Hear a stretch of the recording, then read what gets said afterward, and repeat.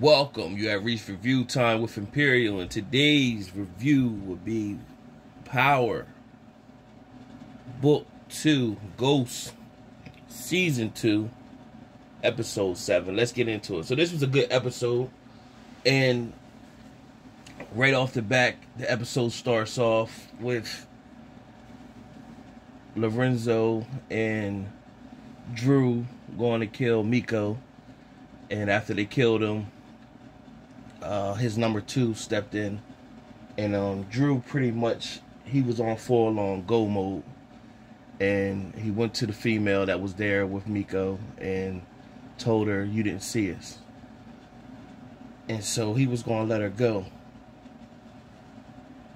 sort of like what Ghost did in um, the earlier seasons. Um, it's like season one when he let that female go.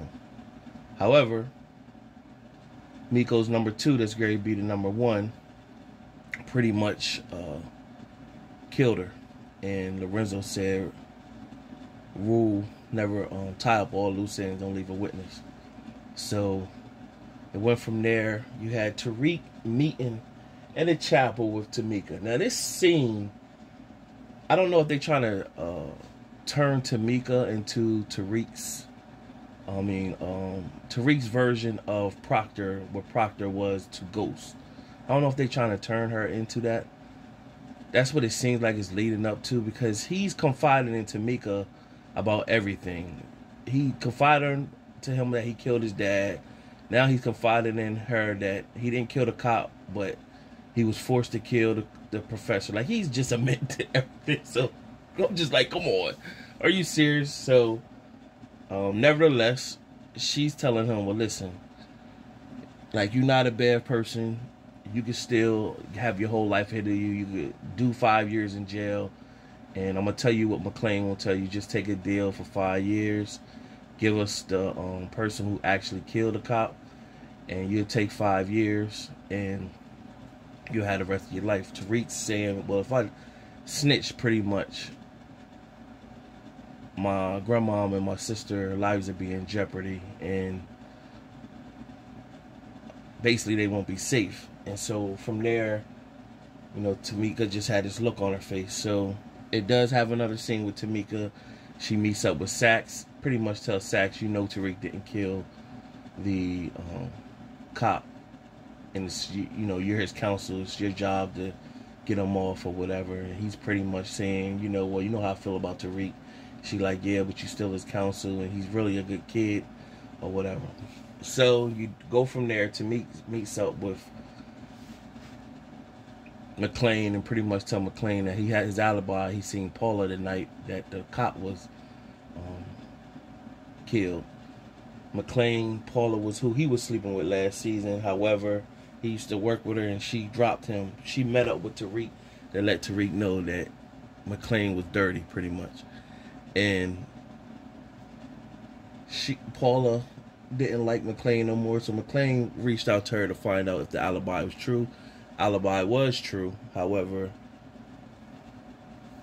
the times still don't match up. He had enough time to meet her and then still get back with um to kill Ramirez. Meanwhile, you had Tate meeting up with Tariq, pretty much telling him, "I need that evidence." He pretty much told there's a picture of Sweeney and Weston. Uh, Brayden's dad is in the picture with blackface. So Tariq told Brayden he needed that picture. Brayden said, "No, I can't do that because that's gonna fall back on my family." And so Tariq said, "Nah, I need this picture. You always saying you gotta stand up. You don't like what my um, your family stand for, or whatever." He said, "Yeah, but that's still my family. I can't do that." So nevertheless, the night of Jabari's um, dinner, Tate was able to get in, and Tate pretty much went up to Breast, um, Brayden's dad. Pretty much told him that, hey, listen, some stuff great come out on Sweeney, and I'm letting you know.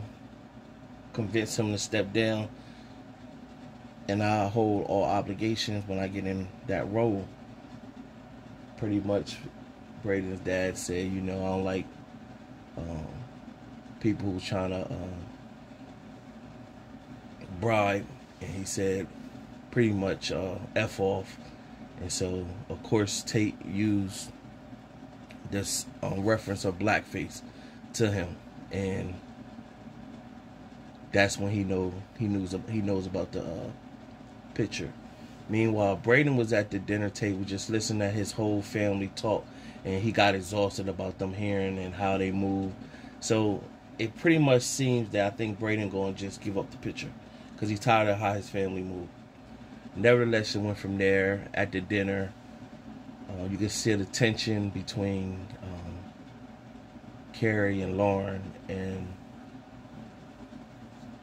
the rumors were circling on the campus that she was sleeping with a student. She pretty much bailed from the speech and went to her office, started crying because her career would be over. Meanwhile, Tate came and pretty much told her that the reason why he went into the dinner is because he wanted to pretty much um, get back into politics and basically told her like your story's not over. Hint, hint, foreshadow, foreshadow, your story's not over. So we all know Tate is having a, a spin-off show of his own book, um, Power Book Four, called Influence. So hint, hint, this is the foreshadow. I don't believe Carrie is going to get killed. I think she's going to move over to that. Uh, influence with Tate somehow.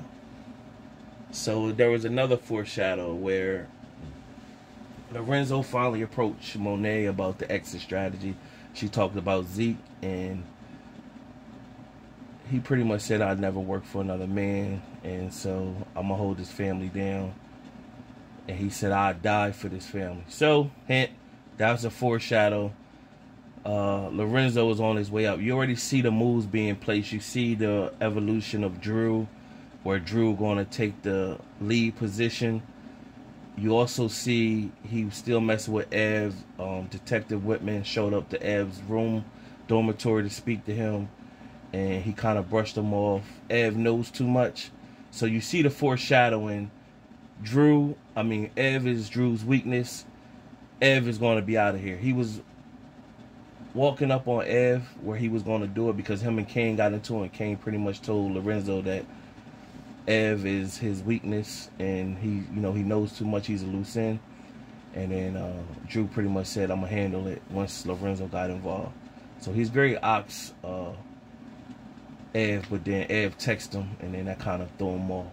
So that's the foreshadow that Ev is out of here. His days are numbered. From there, you also had um, MacLean getting in his car and Cane shows up pretty much confirming he pretty much did the killing and Tariq need to go down. MacLean explained to him, if I get Tariq off, it gets you off. You and Tariq are pretty much in this together. And uh, when he pulled off, he told um, Cane pretty much, say hello to your mom, Cane. Because Cane was masked up or whatever. So he knew who he was. And uh, Tariq did the trifecta.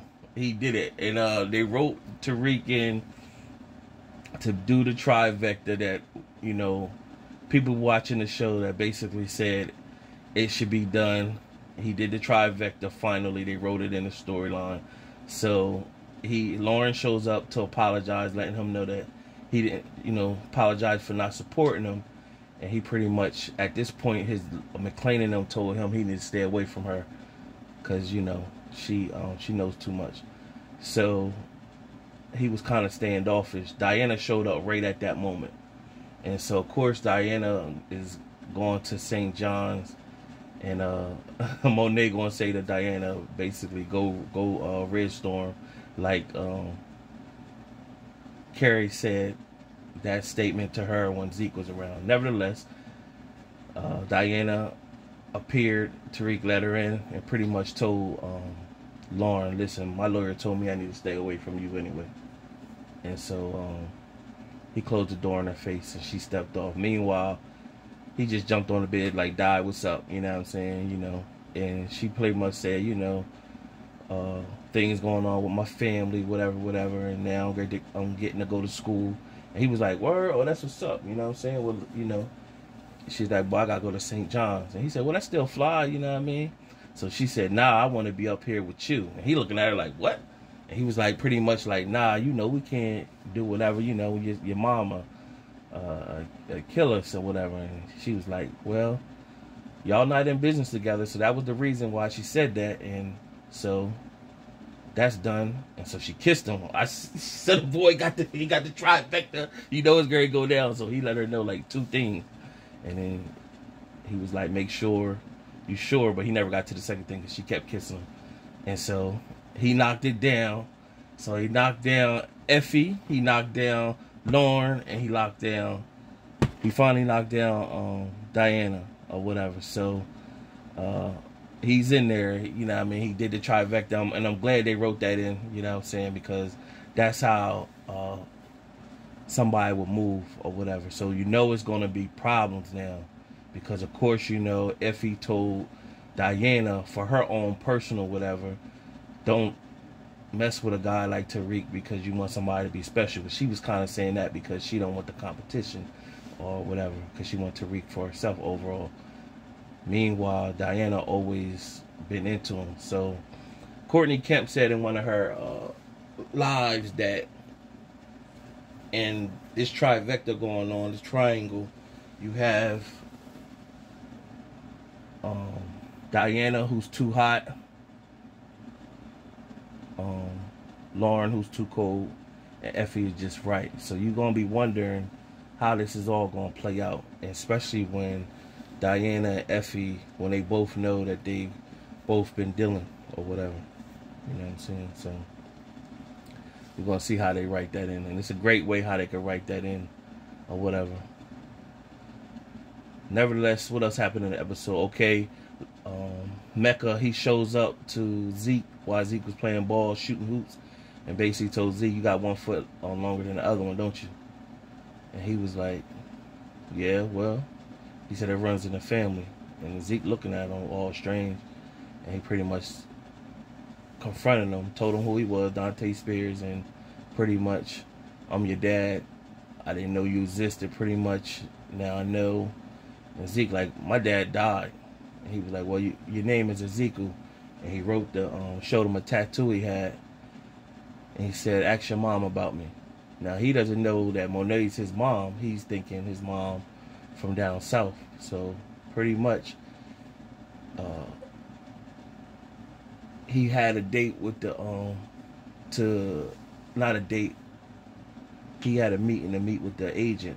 So Monet was calling him. He didn't answer. So she showed up to Stansfield looking for him. And when she found him, she like, "Why you ain't answer the calls?" And then he pretty much packing the stuff like, "Nah, I gotta roll. I gotta speak to my mom." She told him that he met this guy, said it was his dad. So she said, basically forced him to sit down, told him, your dad is in jail. I was promised by your mom to never say nothing or whatever. You got to be careful because he, this guy popping up saying he's your dad, he's just out for the money. So, uh, he believed her for the moment. So right now he believed her, but you know that's to fall apart. So meanwhile, Monet shows up to um, Mecca's house and pretty much confronting him why you go back on our agreement. You know what I'm saying? And he said, because basically, because we had an agreement, you went back on it. So she pretty much told him, Zeke don't need you, I don't need you either. So she trying to get back into her relationship with the family, Lorenzo, or whatever. And Zeke going to the league. And so Mecca's not feeling that. So, of course, he didn't meet with Lorenzo and pretty much said all his weight going to go to Lorenzo. And Cane knew he was out the game at that point. So he feeling some type way. And that's what strong him and Dru's fight scenario.